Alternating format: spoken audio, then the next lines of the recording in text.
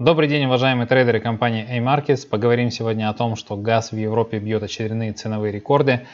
Турецкая лира пробивает дно, а в России решили включить бюджетное правило. Ну, еще не решили, но хотят, обсуждают это. Антон Силуанов в очередной раз говорит о том, что нужно, чтобы она заработала. И чтобы сверхдоходы от продажи нефти аккумулировались не в долларах, а в юанях. Как это повлияет на рубль и о других моих торговых сигналах на прибыльные сделки, поговорим в сегодняшнем выпуске. Как мы видим, цена на газ приближается к линии сопротивления. Она уже от нее немножко отбивалась. Вот, и сейчас двигается дальше. А, учитывая конъюнктуру того, что цена на газ будет расти, можем рассчитывать на что? На то, что цена пробьет дальше эту линию сопротивления. Сейчас продавать мы здесь не будем от линии сопротивления, потому что уже была коррекция. Но, но в дальнейшем, если цена пробьет, мы можем вернуться опять к этой линии сопротивления. Это будет зеркальная линия поддержки и рассчитывать на рост дальнейшей цены на газ.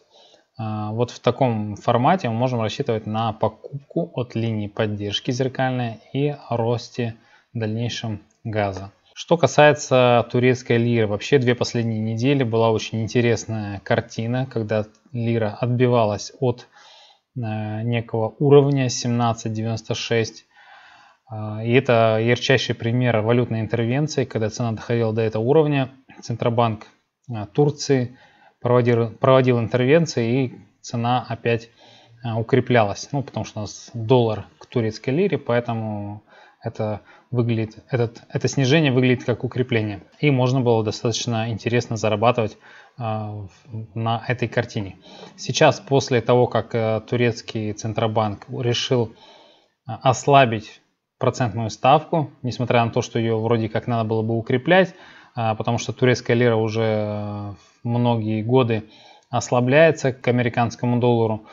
А, но, видимо, решили занять другую позицию, поэкспериментировать и в этот раз ослабить а, процентную ставку, что в свою очередь закономерно ослабило турецкую лиру. Какую точку входа мы здесь можем найти? Если цена приблизиться обратно к, этой, к этому уровню, это будет линия поддержки, зеркальная линия поддержки, то можем рассчитывать на э, дальнейшее ослабление лиры, то есть рост пары доллар турецкая лира э, дальше наверх и зарабатывать на росте. Э, евро-доллар движется вниз, вообще он ослабляется. Сейчас доллар укрепляется, а поэтому все валютные пары практически ослабляются к доллару. Поэтому ждем евро-доллара внизу на уровне 0.9951, от него можем купить краткосрочно.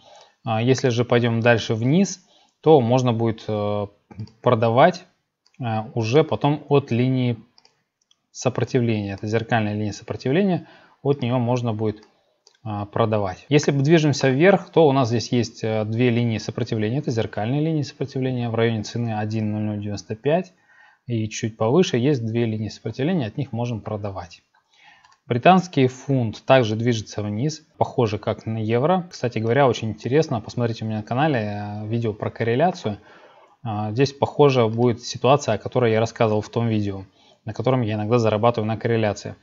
А, если вот у нас евро и фунт двигаются вниз, однако фунт опережает. Если фунт пробьет линию поддержки, если фунт пробьет линию поддержки, то мы можем ожидать такого же пробития от евро. То есть можем делать ставки на продажу евро. Так что обратите на это внимание. Если фунт двинется все-таки вверх, у него также есть линия сопротивления зеркальная. От нее в районе цены 1.2003 можно будет продавать. Доллар канадец э, движется вверх, но у него есть внизу линия поддержки. Я обозначил синим квадратом, а вверху линия сопротивления. От нее можно будет продавать. Британский фунт швейцарскому франку. А, движется вниз, но если вернемся обратно наверх, то у нас здесь есть линия сопротивления, тоже зеркальная. Вообще на этой неделе много зеркальных линий, это очень хорошо, я их люблю. От этой линии можно будет продавать, это цена 1.1527. Также есть чуть выше. Это э, для тех, кто любит усреднение, если здесь вошли не очень хорошо, то можно будет усредниться на этом уровне.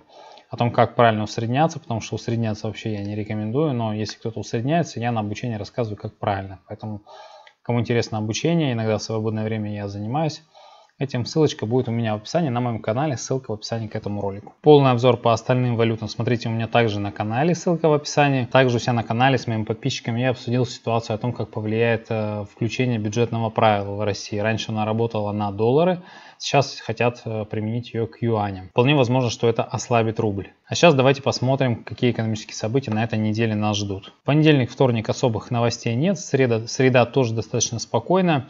Вот четверг будет у нас ВВП Германии. Будет снижение ВВП, поэтому это может ослабить евро. А вечером в четверг также будет новость ВВП по Америке и число первичных заявок на получение пособий по безработице. Эти две новости также могут спровоцировать волатильность повышенную. Ну, в пятницу особых новостей нет. Вообще неделя достаточно спокойная, поэтому можно ожидать, что технический анализ будет хорошо работать, а следовательно вы сможете заработать на моих сигналах. Еще раз повторю, полный обзор у меня на канале, ссылочка в описании. Желаю всем успешной торговой недели, торгуйте с удовольствием, всем пока.